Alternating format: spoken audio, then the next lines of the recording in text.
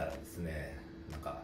LINE がバババッと入ってるし、えー、着歴もあったんでどうしたのかなと思ったら例の大谷翔平選手の、えー、通訳、えー、水原一平さんが、えー、違法ギャンブルで、えー、私が見た一報ではあの違法とは書いてなかったんですがギャンブルで、えー、7億円近い日本円で7億円近い、えー、借金を負って、えー、そのお金をそれの返済をですね、大谷選手の、えー、お金でしていたと。で、えーまあ、あとギャンブル依存症だということを選手たちの前で、えー、話をしてで球団が彼を解雇したという第一報。なんかよくわけわからない、えー、第一報だったんですけれども、えーまあ、はっきり言って私は他人のギャンブルさほど興味がないんですが、えー、しかも大谷選手がっていうなら分かるんですが大谷選手の通訳がなんてですね付属の付属みたいな話なんで私自身はさほど、えー、興味を持たなかったんだけれども、えー、ギャンブルイコール以下はと思う人が日本にはたくさんいらっしゃるようで、えー、週刊誌の編集長さんや編集次長さんが、えー、うちの記者から取材させてもらえないかっていう LINE だったりですね、えー、そして私の、えー、YouTube のプランナーがですね井川さんこれは、えー、井川さんがコメントしないと始まらないとこういうことなので、えー、緊急に収録してます。普段私は、えー、ニコ生の、えー、使い回し以外は月に1回ぐらいしか、えー、YouTube のために取りだめしないんですけれども今日は初めて、えー、緊急収録ということでプランナーが緊急に編集してアップしてくれると思いますのでこの件に関して知る範囲あるいは考えられうる範囲について、え、お話ししてみたいと思います、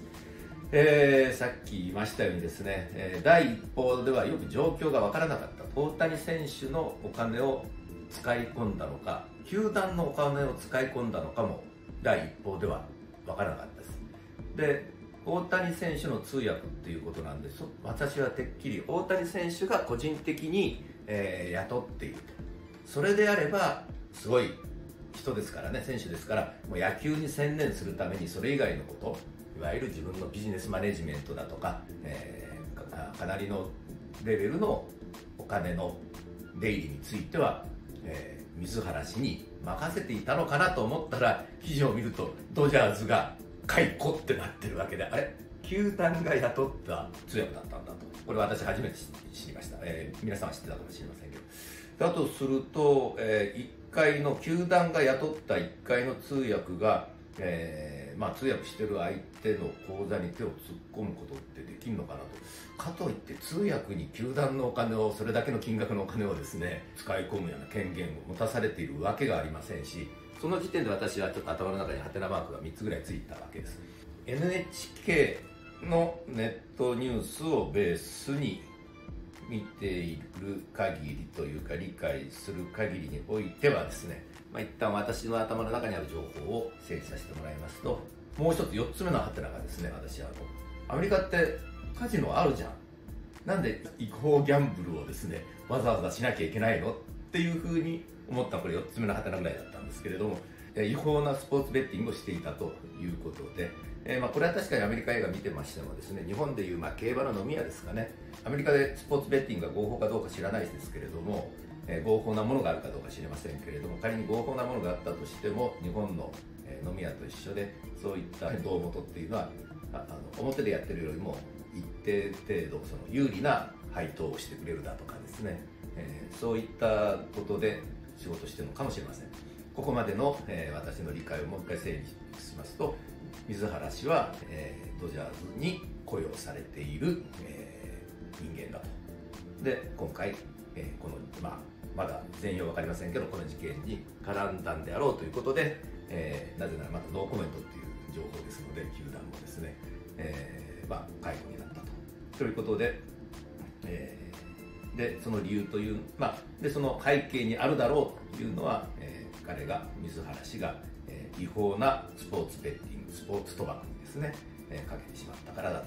でそれで7億近く負けて借金を作ってでその返済に、え、どういう形であるかわからないけれども大谷翔平選手のお金が当てられたということだと思います。でここから、まあ、これも非常に限られた情報ですけれどもまあ、私の推測するところ思うところをお話してみたいと思います。向こうで報道された分をもう少し詳しく見ているとやっぱりちょっと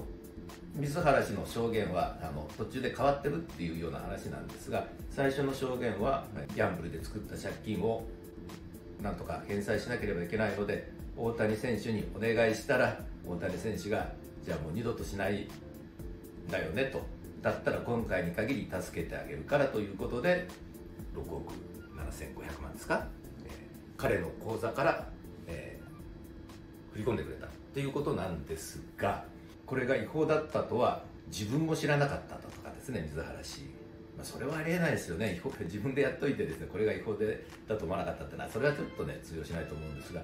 問題は大谷選手がこれが違法なスポーツベッティングだったと知っていてその返済を肩代わりしてあげてたら結構アメリカでは問題になる可能性がありますねアメリカってのはわりかしそういったところのですねルールには厳しいところがあります、えー、アメリカってすごい多民族国家多文化国家なのでルールって結構シンプルなんですね。日本みたいにあの後からですね官僚役人の恣意的に決められるだとかですね曖昧な部分を作っておいてそれは後で官僚が都合よく、え、決める。警察が都合よく判断するっていうのはないんですね。そうすると混乱しますからアメリカはもう本当にルールはシンプル。その代わりまあ破ると厳しい罰則がペナルティが待っていると。実際に私がもっと若い頃小さい子供を連れてですね元嫁との子供たちを連れて家族でまだその時は元嫁とのから離婚してない時ですけれども、えー、ラスベガスに家族で遊びに行ったと。ホテルの中にもあのスロットマシンを置いてるんですけれどもそこに一応ここから先は、えー、カジノゾーンだっていうあのラインがこう書かれてるんですね。でそこに私の子供があの子供ですからパタパタって入り込んだらですねあのすぐにもうのゴリラって僕ら言うんですけどセキュリティが飛んできてさすがにそのなんですかそれは違法って言われてダメだダメだと。そのここから先はあの未成年は入ってはいけないんだって言ってですねこう蒸し返すというですね。一度決めたルールは厳しく、えー、守らせると。そういう国ですから、えー、メジャーリーグの規則でもですね違法スポーツベッティングに関わってはいけないという、定がありますから今回大谷選手の、えー、代理人弁護士は彼は大規模な窃盗事件に巻き込まれたと。要するにあくまで被害者であるというスタンスを、えーまあ、アメリカですから当然パーンと打ち出してくるわけですけれども日本人的な感覚で大谷選手がこれはまあ、ずっともうエンジェルス時代から、まあ、世話になってるっていうかもう通訳ですから多分しょっちゅうずっと四六時中いるわけですよね。しかも最近結婚されたけれどもあのそれまでは多分一最も長く時間を過ごす相手だったと思うんで、まあ、情も映ってるんじゃないかと思います。あのあの大谷選手のあのあの爽やかな笑顔を見ると素晴らしいあの、ね、あの人柄の人だと思いますし。